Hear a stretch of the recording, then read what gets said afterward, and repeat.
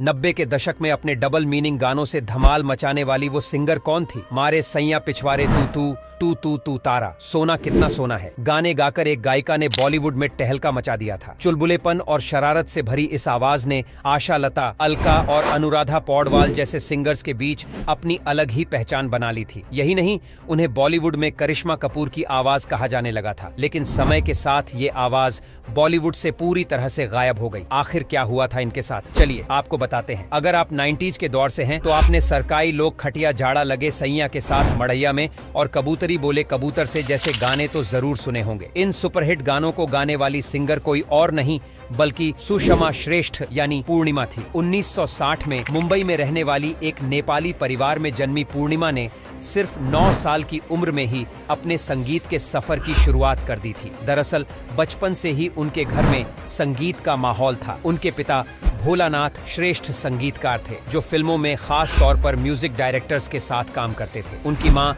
निर्मला श्रेष्ठ भी संगीत से जुड़ी थी और आशा भोसले की गहरी दोस्त थी। यही नहीं, बचपन में आशा भोसले उन्हें अपनी गोद में बिठाकर गाना सुनाया करती थी। वो साल उन्नीस सौ उनहत्तर था, जब उन्होंने पहली बार रमेश सिपी की फ़िल्म अंदाज के लिए शंकर जयकिशन के म्यूज़िक डायरेक्शन में मोहम्मद रफी सुमन कल्याणपुर और प्रतिभा जैसे दिग्गजों के साथ मिलकर हैना बोलो बोलो गीत गाया था। इसके साथ ही वो बॉलीवुड में धीरे धीरे बड़ी चाइल्ड सिंगर बनकर उभरी। इसके बाद सतर के दशक में उन्होंने एक से बढ़कर एक गीत गाए और बॉलीवुड में सुषमा श्रेष्ठ नाम से मशहूर हो गई। इन गीतों में गले लग जा, फ़िल्म का तेरा मुझसे है। पहले का नाता कोई, फिर 1977 में आई। हम किसी से कम नहीं का क्या हुआ? तेरा वादा जैसे मशहूर गीत शामिल है। इन दोनों गीत के लिए उन्हें Filmfare, best playback singer के खिताब के लिए नॉमिनेट किया गया था। लेकिन 80 का दशक सुषमा के लिए कुछ खास नहीं रहा और शादी के चलते उनकी गायकी पूरी तरह से ठप हो गई। इसके बाद 90 का दशक शुरू होते ही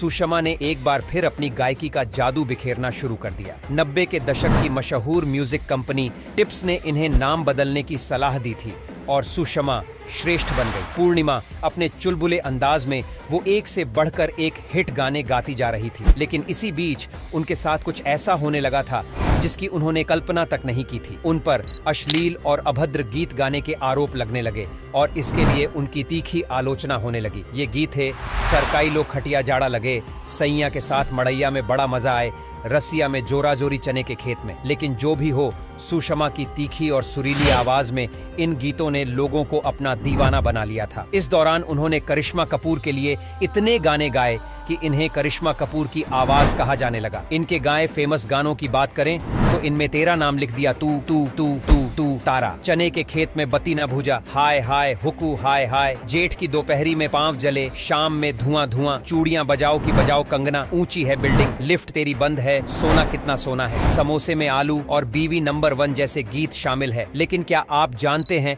कि इतने पॉपुलर गीत गाने के बाद भी बॉलीवुड में खेमेबाजी और टफ कंपटीशन की वजह से इनको वो शोहरत और नाम नहीं मिल सका, जिसकी वो असल जीवन में हकदार थी। लेकिन आज भी इनके गाने लोगों को झूमने पर मजबूर कर देते हैं। फ़िलहाल वो देश विदेश में स्टेज शो करती हैं और काफ़ी ज़्यादा व्यस्त रहती हैं। हालाँकि ज़्यादातर लोग अब भी उनके नाम से अनजान हैं। दोस्तों, आपको सुषमा श्रेष्ठ के गीत कैसे लगते हैं और क्या आपको उनका कोई गीत सबसे ज़्यादा पसंद है? कमेंट करके ज़रूर बताएँ। ऐसे ही और किस्से के लिए हमारे चैनल के साथ जुड़े रहें।